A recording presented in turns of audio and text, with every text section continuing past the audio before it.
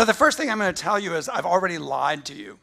Uh, I'm not going to talk about negotiating with North Korea. I'm not going to tell you what happened in Singapore. I'm not going to tell you what happened in Hanoi. I'm going to tell a somewhat different story, which is about information. And this picture, which has virtually become a cliche, I think most of you have probably seen this at some point, is really a metaphor for the problem of North Korea, which is anytime you're negotiating with an adversary, you have to understand their intentions and capabilities. And North Korea is a virtual black hole with respect to information. And so the question, which if you're a physicist, of course you know this is impossible, is how do you extract information from a black hole? Uh, and, and it's uh, totally by coincidence, a, a, a, reporter called me this morning from The Economist, and they asked me about this picture, because this picture is usually taken as a metaphor or an explanation, really, of what went wrong in North Korea compared to what went wrong in China and South Korea. But in fact, it's also got information in it, because the night lights that are shown here, the emission of light, can be used to construct estimates of economic activity over time by mapping the course of those changes in luminosity over time. And there's a group in Vienna which has tried to do this, uh, called the World Data Lab, headed by a guy named Homi Kharas, that many of us know here at GPS. And he was asking me, what do you think of these estimates? And I said, ah, don't know. Uh, so let me um, really just give you some examples of the type of things that people are doing, myself included and others, to try to get at this question of extracting information from a black hole. And I'm going to start with things that are very simple, and then I'm going to move to things which are more complex in real time and that characterize where the field has moved over the last uh, several years. So the first thing I'm going to show you, because I can't help it, I'm not as bad as my colleagues on data. I said that yesterday. Um, but I do, I do find this a, a really interesting exercise. So North Korea publishes absolutely no trade statistics. They treat them as a state secret. So the only way you can get estimates of what North Korea's trade looks like is to essentially take a look at all of the countries that are trading with North Korea and reconstruct their direction of trade from their trading partners. Uh, and that's this exercise in mirror statistics. And in this, a recent book I did in sanctions, I and others have done this simple exercise.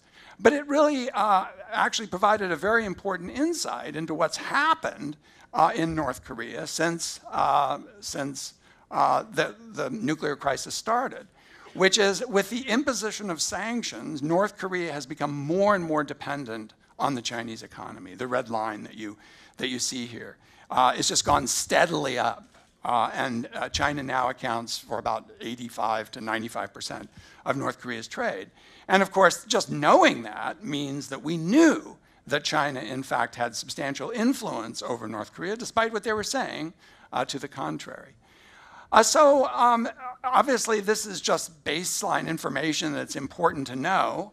Uh, we can also get information out of North Korea by interviewing refugees.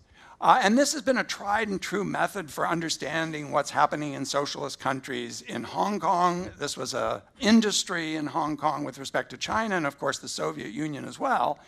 And I always like to show these pictures of markets in North Korea, because one of the things that happened after the Great Famine of the early 90s is that North Koreans started to move and started to engage in trade and commerce of various sorts for the purpose of staying alive. And now you see both these kind of informal markets on the left and these more structured markets on the right, in which the government is seeking to tax those that are involved in these activities. But uh, some surveys that we did of North Korean refugees that had escaped uh, gave us some insight into how pervasive this sort of market activity is. We found, for example, that 70% of the refugees, admittedly a select group, reported that most of their income, most of their income came from market activity. And this is in a state socialist economy. So we know that this is a country which is changing quite dramatically, but the only way we can figure that out is to talk to those uh, who are leaving. Um, the, probably the biggest change that's happened over the last several years is the growth of satellite imagery and a series of platforms uh, that are permit outside researchers using open source information to analyze what's happening on North Korea by looking at satellite imagery. And I'll show you some pictures of that in a minute. But one of the biggest findings that we have from this satellite information, and this is again open source, unclassified information, is that North Korea's missile tests, which started at a handful of major test sites, have now been emanating from all over the country, suggesting that these missiles are actually deployed down to the unit level. This is an important strategic thing to know. We know exactly where these things are coming from. We know that they're dispersed, and we know that that poses a particular uh, security challenge. And these kinds of issues of using satellite imagery extend way beyond the security sphere to things like human rights. Um, I've been interested throughout the time I've, I've been working on North Korea and human rights issues, how we promote human rights. And in the course of submitting information to the Commission of Inquiry, the UN Commission of Inquiry into Human Rights uh, in North Korea, one of the things I saw from some of my colleagues who work at the Committee on Human Rights in North Korea are these incredible projects on the concentration camps in North Korea. And we now have satellite imagery of those camps. We know approximately how many people are in them.